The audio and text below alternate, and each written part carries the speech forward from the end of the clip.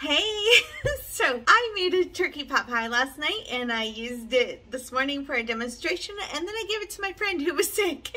So, so she could have dinner tonight and then I get home tonight and Mike's like, I thought we were having turkey pot pie for dinner. So anyways, we are going to have turkey pot pie. I randomly have all the ingredients.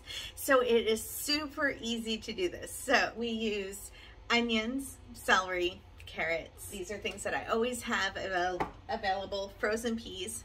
So the funny thing is, is my carrots and celery here are actually frozen. So I had a little bit extra in one of the times that I went grocery shopping and I put them in the freezer. These can easily be chopped down to a smaller size. So I'm going to use up these frozen ones to make the pot pie today. I'm going to um, cook those in a pan a little bit. And then yesterday when I was making the onions, I went ahead and made a whole extra onion. So these are already translucent and ready to go. They just need to be warmed up. And then I still have some sage and thyme here that are fresh that are a couple weeks old. And this is just chopped up turkey all ready to go. So chopped up turkey, I'm gonna add peas. I have some stock here. This is on the blog, the recipe's on the blog. And then I just get the frozen pie crusts. Like they work when we're in a super big hurry. These work just fine. You can get pastry, um, puff pie, frozen ones too if you want to do that. You can make it if you want to. If somebody is home, then we make gluten free, but she's not home right now. So we work on this or do this and I can whip all these ingredients up in around 10 minutes and have the filling for the pie and then I just have to put it in the oven. So turkey, pot pie. You can make this with chicken pot pie. Super easy, super easy to do right after Thanksgiving or just freeze your turkey and when you freeze it, crumble it up or put it in slices, but put it in like one cup servings when you freeze it and then that way you can make whatever you want anytime because you have all the ingredients in your house. So the recipe for this we will type up for you and have ready, but this is a great after Thanksgiving a meal to think about.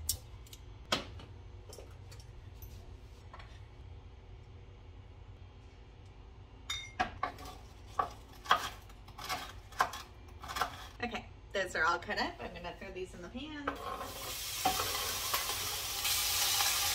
I'm gonna add the onions just to reheat them here in a second and then I'm gonna add the chicken to reheat it and I'm gonna put some butter and some flour in there and cook the flour down and then I'll be adding some chicken stock, oh some milk and some milk and kind of make a gravy, the pie filling and then towards the end of that I will add the peas so that they don't overcook. This parsley is getting a little yellow but I'm going to use the green ones and it is from September and today is November 14th. I'm just saying. So totally fresh. It's been in the refrigerator. I'm going to pick out the yellow ones and end up giving those to the chickens, but I've been trying to keep this as long as I can just so I could show you guys what it looks like, but I'm going to be using the fresh parsley here, and then I have fresh sage and thyme, but you can totally use dry ingredients for these too. I just happen to have fresh ones, and that's what I'm going to use. Here I added the onions, which were already cooked. So I'm going to end up adding like two tablespoons of butter and take a quarter cup of flour and make a roux here.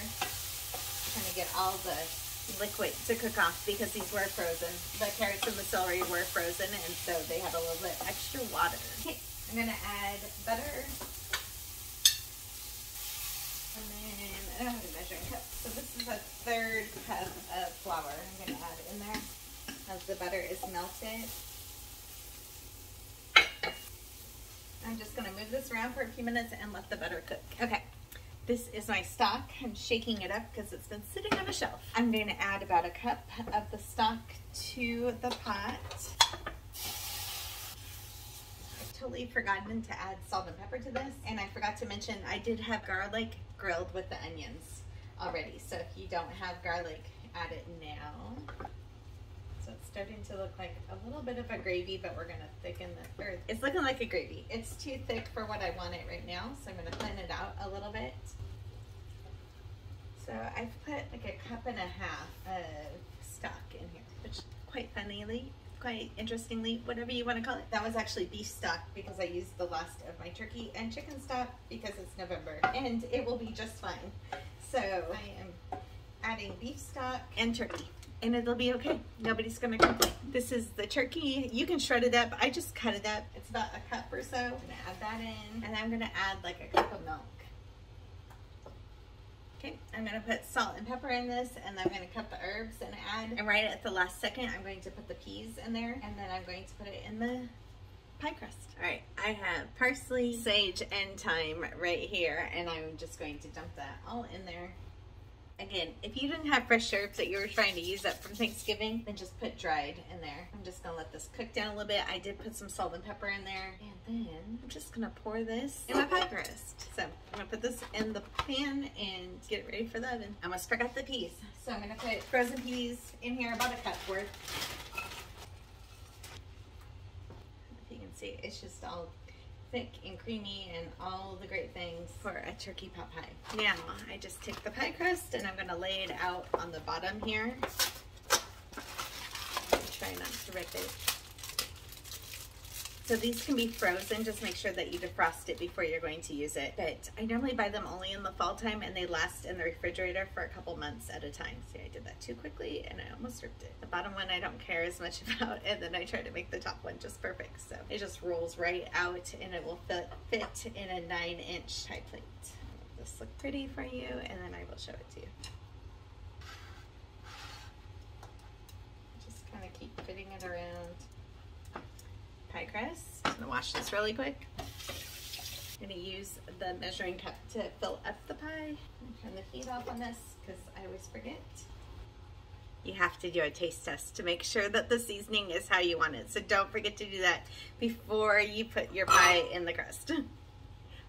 Okay, I'm gonna fill it up.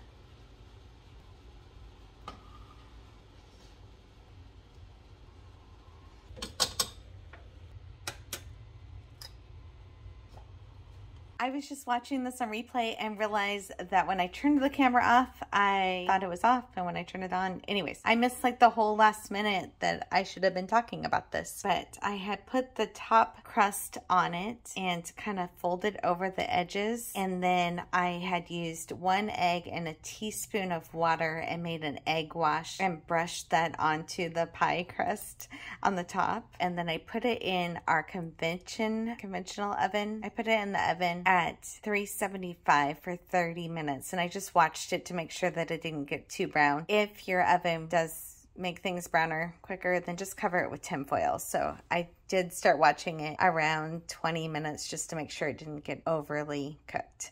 But anyways, I'm so sorry. I missed the last minute of filming that. But here is the pie all done. So this is turkey pot pie, but you can easily make this all year long with chicken also.